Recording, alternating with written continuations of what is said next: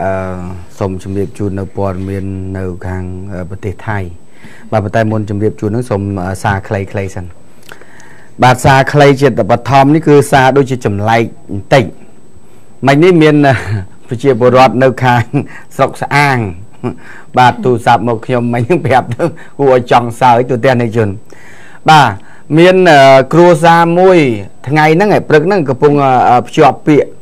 ប់ពាក្យភ្ជាប់ពាក្យកូននៅភូមិព្រែកថ្មីឃុំរកាខ្ពស់ស្រុកស្អាងខេត្តកដាល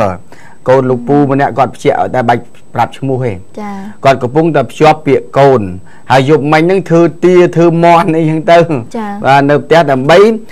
រៀបចំបាយសម្លសម្រាប់ភ្ញៀវទៅចូលរួមភ្ជាប់ពាក្យព្រឹកហ្នឹងឯងពងធ្វើឥឡូវតែយប់មិញធ្វើទាឲ្យមកស្អាតយកគ្រឿងក្នុងឲ្យទុកស្រួលបួលបយួរទាអត់បយួរទា14ក្បាលចាបាទ ស្រាប់តែដល់ពេលព្រឹកឡើងរៀបចំធ្វើចៅលួចយកទាអស់លីង14ក្បាលបាទឥឡូវនឹងចៅលួចទាអស់ហើយបាទទាំង14ក្បាលហ្នឹងលីងមកហើយចាំតែមួយមុខហ្នឹងទេមានតែមានមានមន់នេះខ្លះទៀតប៉ុន្តែវាខ្វះមហូបហើយចាបាទប៉ុន្តែគាត់នៅថាចង់និយាយចេះអឺខាងសាច់ញាតិខាងអ្នកដែលកូនកំឡោះកូនកំមុំដែលកំពុងភ្ជាប់ពាក្យហ្នឹងសូមផ្ដាំផ្ញើអញ្ចេះ ថាលោកចៅបើបានលួចទៅហើយសូមជូនពរមកឲ្យគូស្វាមីទាំងពីរនឹងផងបានជាលួចទៅហើយបាទហើយក៏ជាពិសេសនឹងអរគុណអ្នកបោចទាផងដែលបានបោចហើយវាទៅចឹងទៅអស់បាទហើយអស់ទា14ក្បាលអូបាទបើសិនជារៀបរៀប14តុកមិនអញ្ចឹងហ៎បាទហើយដឹងប្រមាណតុកយើងដឹងទាដឹងមន់ប្រមាណប៉ុន្តែគាត់មន់បើសិនជាដាក់ជាមួយនឹងទាហ្នឹងក៏ទៅជាមួយគ្នាដែរ បាទហើយជ្រូកវិញហ្នឹងមកដាក់ជាមួយគ្នាទៅតែភ្ញៀវព្រឹកហ្នឹងអង្គុយមើលតុកអង្គុយលើតុកមើលមុខគ្នាទៅអង្គុយជុំគ្នាហើយតោះទៅផ្ទះបាយផ្ទះចាបាទប៉ុន្តែចេះចេះទុកចេះទុកខុសគ្នាបងឯងអើឃើញទេចេះទាហ្នឹងទុកណាគាត់មានទាហ្នឹងគាត់ពយួរនៅអារោងខាងក្រោយទៅមន់ហ្នឹងប្រហែលជានៅរោងខាងកន្លែងដាក់លើផ្ទះអីក៏មិនដឹងដែរជ្រូកអីហ្នឹងហេងសើយបាក់ដាក់នៅកន្លែងផ្សេង ដាក់ទាំងអស់ហ្នឹងនឹងបរយភ្ញៀវព្រឹកហ្នឹងទៅអង្គុយតុកហើយមើលមុខគ្នាសើចដូចហើយទៅផ្ទះបាយផ្ទះយើងបាយផ្ទះចាដូចទេអឺដូចថា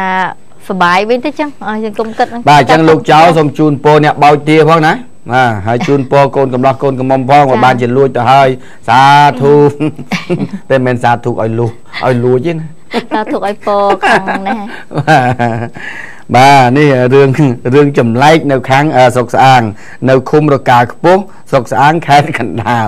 បាទលោកអធិការជួយទៅមើលផងឃើញលោកអ្នកគាត់លួចទាហ្នឹងគាត់ទៅលក់ឯណាទៅរឿងចម្លែកអីហ្នឹងគាត់ថាអាចសង្ស័យចាប់អ្នកលួចទាមកវិញទៅថតផ្សាយឲ្យជាពលរដ្ឋបានមើលតិចអូប្លែកតិចមើលបាទអស់ទា14ក្បាល បាទហើយសារមួយទៀតខ្ញុំចង់ជម្រាបជូននៅអីម្សិលមិញដោយសារតែខាងសមិញសាលាឲ្យអានតែរឿងចាពីរនាក់ដែលរត់តាមថាទៅតាមគ្នានោះបាទរួចហើយម្ដាយទៅតន់ហើយបានចុងក្រោយនឹងអឺសម្របសម្រួលគ្នាបញ្ចប់បញ្ហាជប់ប្តឹងទៅហើយក្នុងអត្ថបទហ្នឹងមិនថាអើបើថាវាអត់ខូចខាតអីទេ ពីរអ្នកហ្នឹងអាចផ្សំផ្គុំគ្នាទៅហើយមួយទៀតមិនថាអឺគូតែទាំងពីរអ្នកហ្នឹង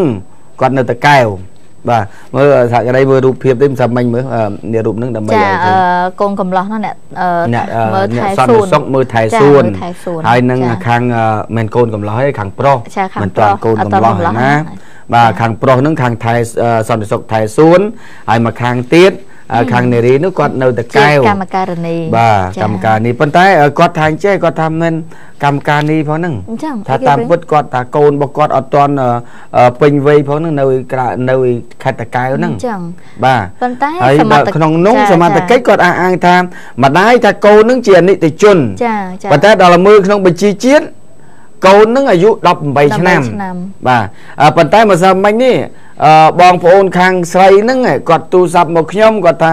លោករុទ្ធីតាមពិតទៅមិនមែនទេអត់រឿងពិតទេគឺអឺនាងហ្នឹងអាយុអត់ទាន់គ្រប់អាយុមែន14ឆ្នាំជាងនឹងមែនបាទហើយការ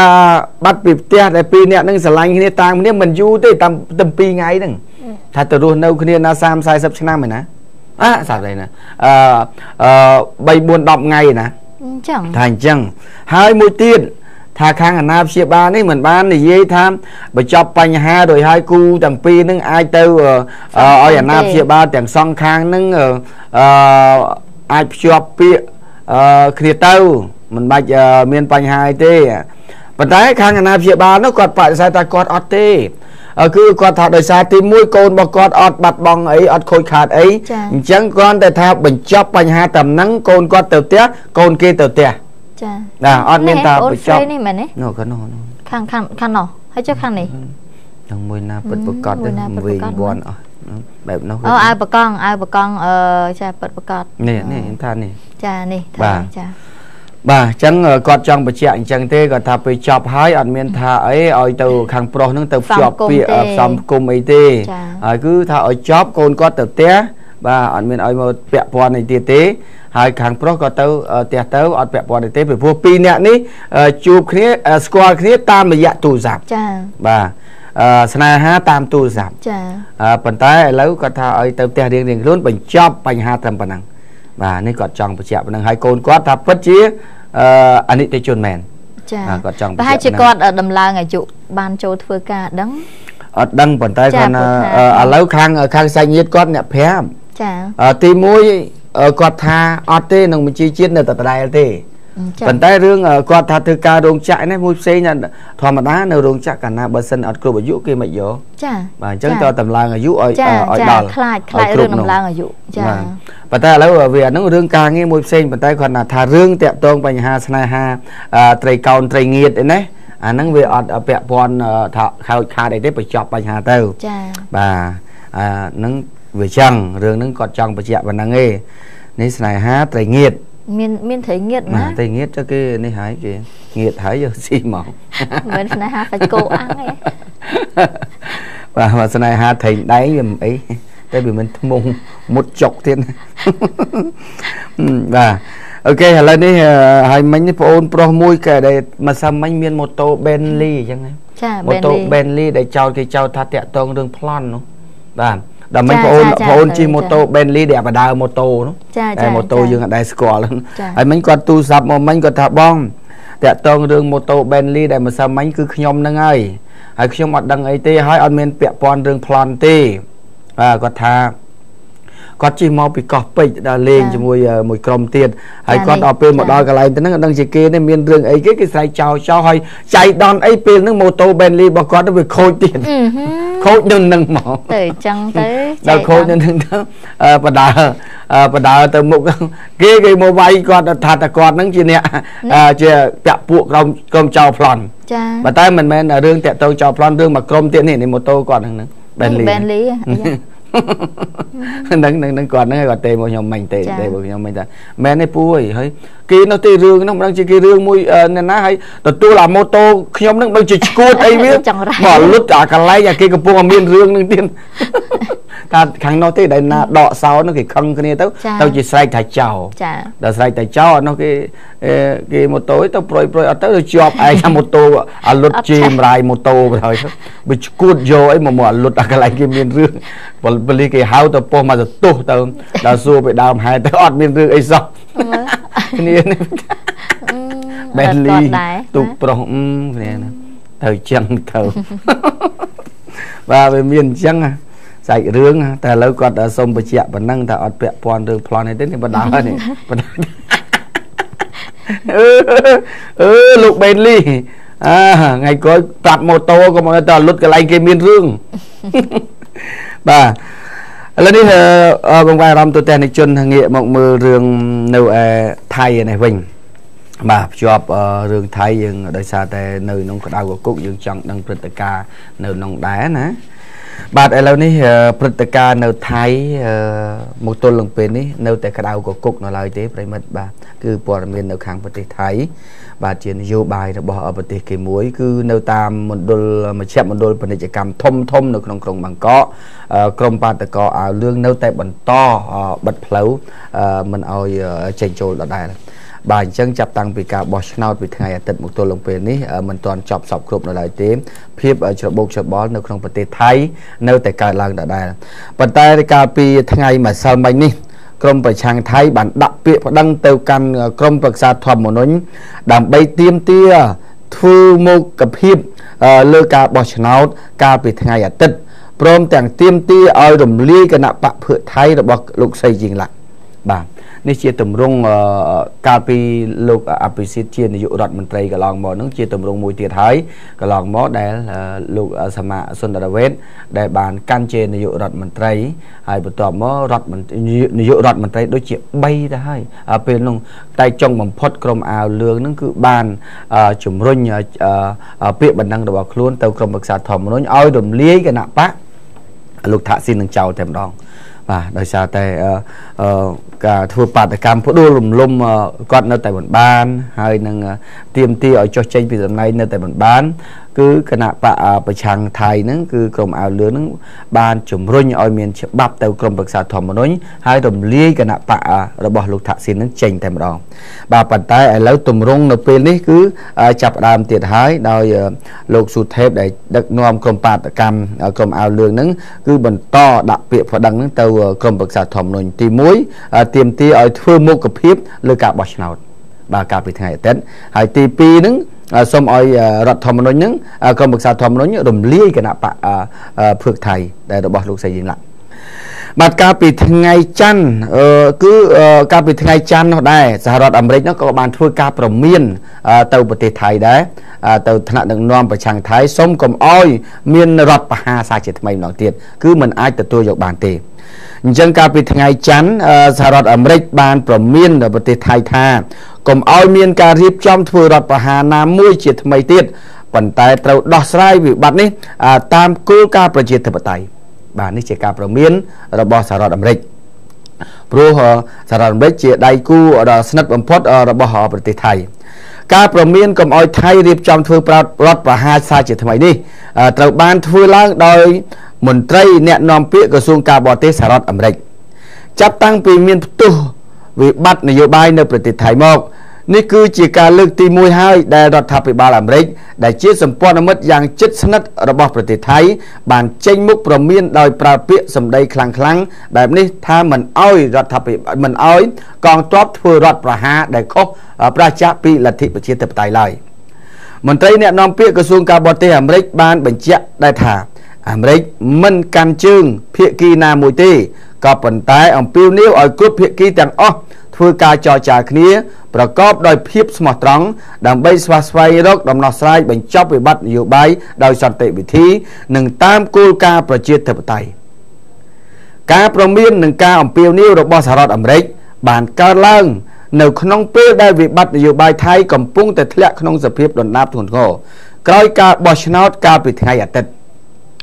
នៅថ្ងៃអង្គារម្សិលមិញនេះក្រមប្រឆាំងថៃបានដាក់ពាក្យប្តឹងសុំឲ្យតុលាការធម្មនុញ្ញថៃ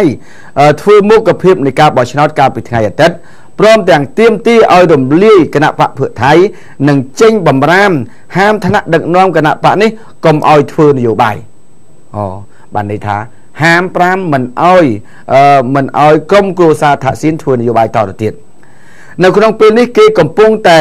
នាំគ្នារំពឹងមើលថាតើសកម្មភាពរបស់តុលាការថៃដែលជាទូទៅត្រូវបានគេស្គាល់ជាថាជាតុលាការដែលតែងតែលូកដៃចូលក្នុងអន្តរាគមក្នុងកិច្ចការនយោបាយជាពិសេសតាមរយៈការចេញសេចក្តីសម្រេចរំលាយគណៈបកនយោបាយដែលស្និទ្ធនឹងលោកថាក់ស៊ីនកាលពីពេលកន្លងទៅបាទឥឡូវនេះគេកំពុងតែរងចាំមើលទៀតហើយទី1ឥឡូវសហរដ្ឋអាមេរិកព្រមានថាកុំអោយមានការធ្វើរដ្ឋប្រហារប៉ុន្តែ កន្លងមកគណៈបកប្រឆាំងថៃធ្លាប់រំលាយគណៈបកលោកថាក់ស៊ីនបាទប៉ុន្តែឥឡូវនេះគឺខាងក្រមប្រឆាំងថៃបានប្រើប្រាស់យន្តការធម្មនុញ្ញថៃដើម្បីឲ្យរំលាយគណៈបកនេះទៀតហើយបាទអញ្ចឹងនេះជានយោបាយនៅក្នុងប្រទេសថៃដែលកំពុងតែកើតឡើងបន្តទៀតបាទមកទល់នឹងពេលនេះអត់ទាន់ចប់នៅឡើយទេដោយភាពចម្រូងចម្រាសនៅតែកើតឡើងដដែលហើយ អាគារពាណិជ្ជកម្មធំធំនៅក្នុងប្រទេសថៃឥឡូវនេះកំពុងតែត្រូវបានឡោមព័ទ្ធដោយក្រុមក្រុមបាតកោប្រឆាំងថៃបាទនេះកំពុងតែធ្វើការប្តឹងផ្ដាល់គ្នាទៅវិញទៅមកលោកសេយិនឡាក់ក៏ប្តឹងមេដឹកនាំមេដឹកនាំបកប្រឆាំងបាទជាពិសេសអ្នកដឹកនាំបាតកម្មដែលបានធ្វើឲ្យខូចខាតទ្រព្យសម្បត្តិសាធារណៈរំខានការបោះឆ្នោតតាមបែបប្រជាធិបតេយ្យបាទអញ្ចឹងឥឡូវនេះអឺគឺលោកស្រីជីឡាក់ គណៈបកភឿថៃក៏ប្តឹងទៅមេដឹកនាំបកប្រឆាំងអឺប្តឹងអឺគណៈមេដឹកនាំគណៈបកប្រឆាំងទៅតុលាការហើយអឺទាមទារឲ្យចាប់ខ្លួនមេដឹកនាំគណៈបកអឺប្រឆាំងដែលដឹកនាំបដកម្មនេះហើយខាងប្រឆាំងឯនោះវិញក៏ដាក់ពាក្យប្តឹងឲ្យចាប់អឺលោកស្រីជីឡាក់ដែរឥឡូវនេះគឺប្តឹងទៅប្តឹងមកបាទនេះជាព្រឹត្តិការណ៍នៅឯប្រទេសថៃអឺគឺមកទល់នឹងថ្ងៃនេះគឺព្រឹត្តិការណ៍កើតឡើងអញ្ចឹង បាទឥឡូវនេះសូមបញ្ចប់ព័ត៌មានអឺក្រៅប្រទេសប៉ុណ្ណឹងហើយយើងក៏លេខមកមើលព័ត៌មាននៅក្នុងស្រុកយើងវិញបាទព័ត៌មាននៅក្នុងស្រុកនេះសូមលើកយកនៅអឺកញ្ញាម្នាក់បានមកដល់ស្ថានីយ៍របស់ខ្ញុំរួចហើយសូមឲ្យខ្ញុំផ្សាយនៅព័ត៌មានតាក់ទងនឹងនាង បានលេង Facebook ប៉ុន្តែត្រូវបានគេយក account របស់នាងអឺទៅលេងហើយប្រើពាក្យពេចន៍វាយប្រហារទៅអ្នកផ្សេង បាទអឺនេះរូបភាពខាងដើមនេះជាកញ្ញាកញ្ញាម្នាក់ឈ្មោះហេងនីកាកញ្ញាហេងនីកាមានអាយុ24ឆ្នាំ នាង មានមុខរបរជាអ្នកអ៊ុតសក់បាទសំអាងការនៅម្ដុំផ្សារបឹងត្របែកនាងរៀនបាទមិនទាន់ជានេះខ្លាយជាអ្នកតកែគេទេបើតែគ្នាកំពុងតែរៀនហើយនាងអឺលេង Facebook កន្លងមកនេះនាងដាក់នៅក្នុង account របស់នាងដាក់ឈ្មោះថាស្រីកាបាទប៉ុន្តែ ក្រោយពេលនាងបានលេងកន្លងមកដោយសារតែមានគេប្រើប្រាស់ឈ្មោះរបស់នាងនាងណាមួយនាងអត់សូវចេះប្រើស៊ីជម្រៅទេតកតងបញ្ហា IT នាងបានតែត្រឹមឲ្យគេបង្កើតឲ្យរួចហើយនាងលេងជាធម្មតាយូរយូរឡើងម្ដងបាទទោះបីខ្ញុំពេលដែលនាងមកដល់ទីនេះក៏ខ្ញុំចង់ឲ្យនាងលេងក៏នាងលេងទៅខ្ញុំឃើញថានាងពិតជាអត់សូវច្បាស់មែនតកតងបញ្ហា Facebook ហ្នឹងបាទនេះគឺ account របស់នាងមុនដំបូងដាក់ឈ្មោះសីកា ប៉ុន្តែដោយសារតែមានគេចូលលេងនៅក្នុង account របស់នាងនាងក៏បានដូរ account នឹងចេញដាក់មក account ថ្មីមួយទៀតដាក់ឈ្មោះថាកាកាចា account ថ្មីនេះគឺនាងលេងដោយផ្ទាល់ខ្លួនឯងហើយ account ចាស់សៃកាអឺ គឺនាងបានឈប់លេងទៅហើយឈប់លេងយូរទៅហើយប៉ុន្តែមានមិត្តភ័ក្តិរបស់នាងម្នាក់គេលេងរួចហើយគេបានវាយប្រហារទៅលើមិត្តប្រុសស្រីប្រុសនិងស្ត្រីម្នាក់ដែលជាសង្សារនឹងគេនោះហើយបែរជាថានាងជាអ្នកលេងទៅវិញ ដោយនៅក្នុងពាក្យពេចន៍ដែលគេបានវាយប្រហារនៅក្នុង account របស់នាងកញ្ញាសីកា គេបានលើកឡើងថាឈ្មោះបុគ្គលនាងនេះបានយកប្តីនាងចឹងជាថោកទាបវិញប្រើពាក្យពេចន៍អសរោះបំផុតនៅក្នុងពាក្យស្នេហាបាទអញ្ចឹងនៅក្នុងនេះគឺនាងមិនអាចអត្ថាធិប្បាយបានដោយសារតែពាក្យពេចន៍ខ្លះវាអសរោះហើយអាក្រក់បំផុតចំពោះគូស្នេហាមួយអញ្ចឹងនាងចង់និយាយថា តាក់តងនឹងរឿងការបរិហាគេនៅក្នុង account ធម្មតាខ្ញុំក៏មាន account Facebook ដែរប៉ុន្តែវាមិនដែរបើសិនជាគេចង់វាយប្រហារទៅលើណាម្នាក់គេមិនដែរយក account ខ្លួនគេផ្ទាល់ប្រើរូបថតគេផ្ទាល់ទៅវាយប្រហារទៅលើអ្នកដទៃទេចា៎បាទអានេះវាភាពឆោតល្ងងបំផុតហើយដែលយក account ខ្លួនឯងផ្ទាល់ទៅវាយប្រហារទៅលើគេដែលគេងាយនឹងប្តឹងបំផុត បាទអញ្ចឹងខ្ញុំជឿជាក់ថាខ្ញុំជឿជាមួយនឹងកញ្ញាព្រោះខ្ញុំក៏លេងអញ្ចឹងដែរព្រោះ Facebook របស់ខ្ញុំក៏មានគេយកឈ្មោះទៅប្រើដែរប៉ុន្តែឥឡូវគេគេលេងប្រើហើយបាទគេគេដកហើយគេដកហើយដែលខាងខ្ញុំអញ្ចឹងជាធម្មតាសូមជម្រាបជូនប្រិយមិត្តរបស់យើងទាំងអស់អ្នកជាលេង Facebook ក៏ពិតជាយល់ប៉ុន្តែអ្នកដែលមិនធ្លាប់លេង Facebook គេអត់យល់ទេ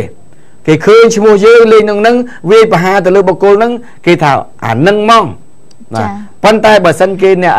លេងចេះលេង Facebook គឺគេប្រកាសជាយល់គេមិនដែលយកឈ្មោះរបស់គេពិត គេមិនដែលយករូបថតរបស់គេពិតទៅវាយប្រហារទៅជេរបចោទៅលើអ្នកដតីទេបាទអញ្ចឹងយើងឃើញសូម្បីតែ Facebook ខ្លះដែលគាត់លេងចូលចិត្តលេងនយោបាយបាទគាត់មិនដែលប្រើរូបថតខ្លួនឯងទេគាត់មិនដែលប្រើឈ្មោះខ្លួនឯងទេ បាទប៉ុន្តែពេលខ្លះគាត់យករូបថតរូបភាពគេឈ្មោះរបស់គេ ទៅប្រើរួចហើយវាយប្រហារជារបៀបនយោបាយបាទសូម្បីតែក្នុង Facebook របស់ខ្ញុំខ្ញុំពេលខ្លះខ្ញុំខមមិនតាក់ទងនឹងប្រធានបទផ្សេងទេប៉ុន្តែអ្នកដែលខមមិនតបគឺគេយល់អំពីងប់ងល់រឿងនយោបាយគាត់វាយប្រហារជេរម្រាយទៅលើអ្នកនយោបាយផ្សេងចា៎បាទតែខ្ញុំអត់ទៅតបតអីទេតាក់ទងរឿងអស់ហ្នឹងជាសិទ្ធិសេរីភាពរបស់គាត់ប៉ុន្តែវាគ្រាន់តែថាវាប្រឆាចនឹងប្រធានបទដែលខ្ញុំនិយាយខ្ញុំក៏មិនរឿងផ្សេង បាទទីហោខ្ញុំខមមិនរឿងតាក់តងនឹងជំនួយមនុស្សធម៌អឺដាក់ហ្នឹងទៅមានបងប្អូនដល់ព្រៃនិយាយរួមក្នុងចំណោម1000នាក់វាមាន2នាក់អីទេចាដែលនិយាយប្រឆាចពីប្រធានបទបាទឥឡូវយើងងាកមកមើលអឺកញ្ញាអឺហេងនិកាយនេះវិញម្សិលមិញនេះអឺកញ្ញានិងម្ដាយរបស់នាង បានមកដល់ស្ថានីយ៍របស់ខ្ញុំដោយទឹកភ្នែករលីងរលោងផងដោយសារតែភាគីមកខាងទៀតគេគ្រោងប្តឹងនាង ថា Facebook របស់នាងនឹងបានវាយប្រហារធ្វើឲ្យខូចកិត្តិយសគេឈ្មោះនៅស្នេហារបស់គេទាំងពីរបាទបំបែកបំបាក់ដោយចោទប្រហែលថាយកប្រុសគេយកប្តីគេអឺហើយនឹងរួមភេទរួមអីណាអឺដល់អាក្រក់បំផុតចាបាទដល់ពេលអញ្ចឹងទៅនាងបានអឺមកអសុំធ្វើការបកស្រាយហើយគាត់ថាអញ្ចឹងនឹងប្តឹងទៅតុលាការដើម្បីឲ្យបញ្ចប់អារឿងហ្នឹងអឺខ្ញុំគិតថាអឺ នាងហេងនីកាមិនបាច់ចាំទៅប្តឹងផ្ដាល់អីទេតែបកស្រាយតែប៉ុណ្ណឹងបានហើយហើយតុលាការក៏គេយល់ដែរចំពោះ Facebook នោះចាបាទវាមាននរណាយកឲ្យឈ្មោះរបស់ខ្លួនឯងពិតទៅវាយប្រហារគេផ្ទាល់ direct direct អញ្ចឹងទេបាទអញ្ចឹងទេអឺពួកខ្ញុំក៏មានអ្នកអ่าដែលគេរិះគន់អឺខ្លះខ្លះមិនច្រើនទេរិះគន់ខ្លះខ្លះតាម Facebook ហ្នឹងគឺ Facebook របស់គេអឺអត់មានរូបថតចា បាទអត់មានឈ្មោះពិតប្រកបគេដាក់ឈ្មោះប្រទេសគេដាក់ឈ្មោះដើមឈើគេដាក់ឈ្មោះអីចឹងទៅបាទឈ្មោះសត្វធាតុអីចឹងទៅបាទប៉ុន្តែគេវាយវាយប្រហារមកយើងប៉ុន្តែដើម្បីចំណេញនយោបាយមួយទៀតបើសិនជាតាក់ទងនយោបាយគឺគេយកឈ្មោះអ្នកណាដែលល្បីអ្នកណាដែលស្គាល់ជាងគេយកមកប្រើធ្វើជា account ដើម្បីឲ្យទទួលបាន friend ច្រើនចាបាទដើម្បីផលប្រយោជន៍គេ បាទអញ្ចឹងទេអឺសម្រាប់ខ្ញុំវិញខ្ញុំក៏អឺក៏សូមប្រកាសឲ្យហើយដែរបាទ Facebook របស់ខ្ញុំមានតែ2ទេបាទមួយ page មួយ Facebook Facebook អឺមួយ page គឺរូបរបស់ខ្ញុំ នៅឈរមុខអេលីកូចាបាទហើយដាក់ឈ្មោះថារិទ្ធីមាសបាទប៉ុន្តែនៅ page របស់ខ្ញុំមានអឺមាសរិទ្ធីហងមាសហតញូបាទ ដាក់នៅរូបថតមួយខ្ញុំឈរនៅអឺនៅក្នុងពេលយកព័ត៌មាននៅអឺកិច្ចប្រជុំគណៈរដ្ឋមន្ត្រីគឺមានតែពីរគត់បើសិនជាមានរូបថតផ្សេងហើយដាក់រូបខ្ញុំឯណាអឺ Facebook ឬ page ណាផ្សេងគឺមិនមែនតែពីរគត់និយាយរួមទៅក៏គឺ Facebook របស់ពួកយើងគឺមិននិយាយតាក់ទងទៅនឹងនយោបាយចានិយាយរួមតែម្ដងប្រសិននិយាយបើជាព្រឹត្តិការណ៍បើនយោបាយចាក៏និយាយជាព័ត៌មានចាដែរក៏និយាយជាបាទព័ត៌មានដែរមិនមែនជាលក្ខណៈវាយប្រហារបា ចាទអឺប្រសិនបើដែលគាត់ជា friend ក្នុង Facebook គាត់តែងតែ follow នាងខ្ញុំដែរថាអឺឥឡូវហ្នឹងមាន logo ហងមាសជាអក្សរខ្មែរគាត់ follow ថាតើពិតមែនដែរអត់ខ្ញុំថាពិតឬមិនពិតខ្ញុំអត់ដឹងទេប៉ុន្តែប្រសិនបើវាយប្រហារខ្លាំងរឿងនយោបាយគឺពួកយើងមិនបាទតែបើជាខាងខ្ញុំគ្មានចាអឺបែបហ្នឹងទេចាហើយបើសិនជានិយាយនិយាយជាព្រឹត្តិការណ៍កើតឡើងចា៎អីហ៎បើបាតកម្មខ្ញុំនិយាយបាតកម្មបាទជាព្រឹត្តិការណ៍ជា new ចាបាទខ្ញុំមិនវិភាគទេ ចាបាទហើយតាក់ទងនឹងគេយកអឺអឺរូបថតខ្ញុំអឺ account ខ្ញុំ Facebook អឺដាក់រូបភាពខ្ញុំធ្វើទេនេះរួចហើយទៅវាយចា៎ប្រហារអ្នកទៅខ្ញុំសូមអឺចានចោលចា៎អឺដោយសារតែឃើញថាអឺអ្នកខ្លះគេថាហឹមយើងគេគេស្គាល់ច្រើនគេដាក់ទៅចា៎ដើម្បីបាន friend ច្រើនចា៎ហ្នឹងទៅបាទហ្នឹងអឺតែប៉ុណ្ណឹងទេសង់ឲ្យចង់បញ្ជាក់ប្រាប់ប៉ុណ្ណឹងអានេះដោយសារតែនាងអឺកញ្ញាអឺហេងនីកាគាត់អឺមកអឺទឹកភ្នែកអឺទឹកសបោមកដល់ស្ថានីយ៍គាត់ហើយភ័យដែរអឺនិយាយជំរាបរួមទៅជូនប៉ុណ្ណឹងចា៎ទៅព្រោះហើយណាមួយក៏សូមជម្រាបជូនទៅខាងភៀកគីមកខាងទៀតដែលគ្រោងថាប្តឹងកញ្ញានេះអឺគឺអឺមិនពិតទេហើយអឺសំបីតែតឡាការក៏គេមិនអាចយកជាការបានដែរបើសិនជារឿងណាអឺដែលយកឈ្មោះខ្ញុំអីទៅប្រើឬអីទៅប្រើអឺតាមពិតត្រូវហើយអានឹងត្រូវប្តឹងហ្មងចាចាបាទត្រូវប្តឹងហ្មងអឺ ប៉ុន្តែវាពិបាកណាស់ពីព្រោះអឺប្រអឺសង្គម Facebook យើងពិបាកនឹងការស្រាវជ្រាវចា៎អឺដល់អឺប្រភពបាទប៉ុន្តែអឺបើសិនជាតិចទៀតអឺគេអាចនឹងអឺអឺធ្វើឲ្យអឺប្រកាសពជាមួយថាតើអ្នកដែលលេង Facebook ទៅចុះអីខ្លះចាទៅត្រឹមបំពេញបែបបត់អីខ្លះចា៎ពិតប្រកបចា៎បាទអាហ្នឹងអាហ្នឹងអត់បញ្ហាទេអាហ្នឹងជៀសវាងកុំអោយចិត្តថាទៅលៀបពណ៌គ្នាបាទអឺចិត្តតែស្អប់គេទៅទៅលៀបពណ៌គេទៅ បាទតែគាត់ថាមិនមែននិយាយនេះដើម្បីបិទសិទ្ធិសេរីភាពគេអ្នកអឺគេអ្នកនិយមខមមិនរឿងយោបាយខមមិនចោះបាទអញ្ជើញចោះបាទប៉ុន្តែសូមកុំអោយយកយកពណ៌ទៅលៀបតែប៉ុណ្ណឹងតាកុំអោយយកពណ៌ទៅលៀបគេបើសិនជាក្លាហានតោះដាក់ចេញមុខឲ្យច្បាស់ច្បាស់ដូចគ្នាមកដូចខ្ញុំអញ្ចឹងមកចា៎ដាក់ Facebook ដាក់រូបខ្លួនឯងដាក់ឈ្មោះខ្លួនឯងបាទចា៎ដាក់នៅនៅ page ឈ្មោះខ្លួនឯងរូបខ្លួនឯងអត់មានអីទៅខ្លាច បាទព្រោះយើងអត់មានអីខ្លាចទៅប្រឈមការពិតចាចាបាទលើកលែងតែខ្ញុំមានគំនិតចង់អឺបោកប្រាស់អីអ្នកដទៃអាហ្នឹងរឿងផ្សេងចាបាទបាទប៉ុន្តែអឺចាពេលឡាយើងនៅមួយវគ្គទៀតជាងនៅមួយវគ្គទៀតអូមួយវគ្គទៀតឥឡូវនេះគឺចិត្តដល់ម៉ោងទៅហើយចាឥឡូវអឺចាំវគ្គក្រោយបាទទូទាំងអ្នកជនអរគុណអឺឥឡូវនេះអឺបានតែប៉ុណ្ណឹងរឿងទេ បាទឥឡូវនេះសូមពេលសម្រាប់បន្តិចសិនបាទតិចទៀតយើងវិលមកជួបគ្នានៅវគ្គចុងក្រោយបាទ